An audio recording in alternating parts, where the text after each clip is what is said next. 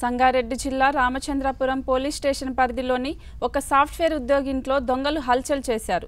విద్యుత్ నగర్కు చెందిన శ్రీధర్ తిరుపతికి వెళ్ళి వచ్చేసరికి ఇల్లు గుల్లై గుల్లైందని బాధితుడు వాపోయాడు. దుండగులు పదహారు తులాల బంగారం కిలో వెండి ఎత్తుకెళ్ళారని బాధితుడు పోలీసులకు ఫిర్యాదు చేశాడు. పోలీసులు కేసు నమోదు చేసుకుని దర్యాప్తు చేస్తున్నారు.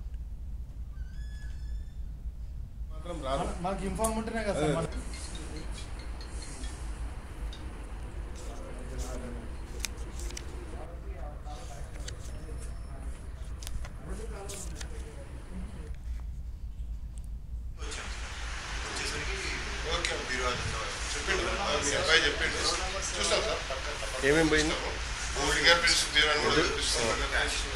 గోల్డ్ కూడా ఎంత ఉంటుంది